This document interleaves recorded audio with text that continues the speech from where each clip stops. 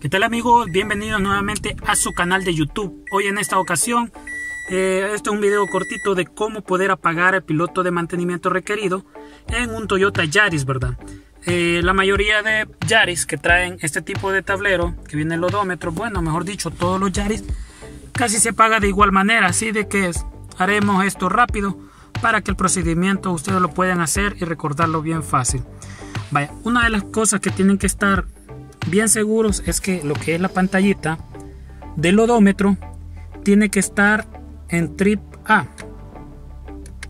Vean, ahí está en trip A. Y después lo que haremos es este, vamos a dejar esto aquí. Quitaremos el switch y lo que haremos es presionar este botón que dice Odo Trip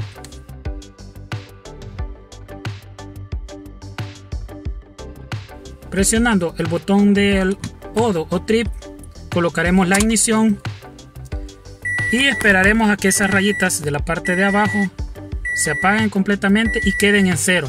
Y ahí lo que es el lo que es el mantenimiento requerido ya está apagado para que vean lo normal es de él